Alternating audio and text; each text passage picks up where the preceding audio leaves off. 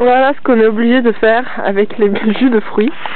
On est obligé de les mettre au-dessus du feu Pour les décongeler. pour les décongeler. Parce qu'en fait, ça fait une espèce de glace pilée à l'intérieur qui passe pas par la paille. Et puis là, j'ai mes toasts qui m'attendent aussi avec mon petit jus qui attend ma saucisse. Mmh. Ça va, Rihanna Euh, faut de la fumée dans les yeux. C'est pas mieux, là. Moi aussi, je pleure, je pleure. Alors, en 15 secondes, je viens de me prendre de la moutarde sur les doigts. Je me suis brûlée avec la grille.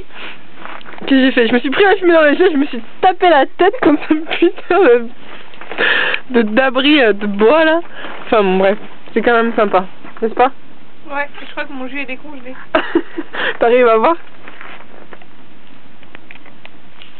Non, pas encore. Putain. Ouais Yeah. Do you exist?